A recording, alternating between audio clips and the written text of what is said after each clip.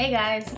This week we're making a healthy banana bread that uses applesauce and whole wheat flour instead of butter and oil.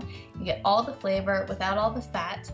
Uh, it's also really easy to customize it, so to mine I added chocolate chips, but if you want to keep it healthier you can always add flaxseed for more fiber, you can add walnuts or almonds for a bit more crunch, or if you want some dried fruit, it's fairly mild tasting as banana bread is, so it's great for children's birthday parties if that's what you're using it for. It should only take about 15 minutes to make, uh, and then of course you bake it.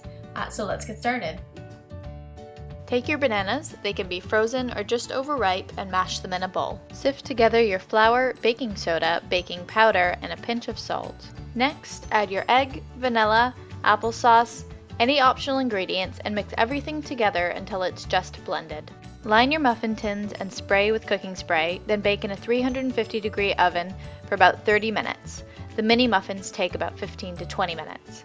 And that's how you make healthy banana bread. If you like this recipe, feel free to give it a thumbs up. Don't forget to subscribe. Next week, I'm going to be making a quiche that you can completely customize with whatever ingredients you enjoy. Uh, plus, I've tweaked it to make it a little bit healthier. So stay tuned for that next Monday. See you later.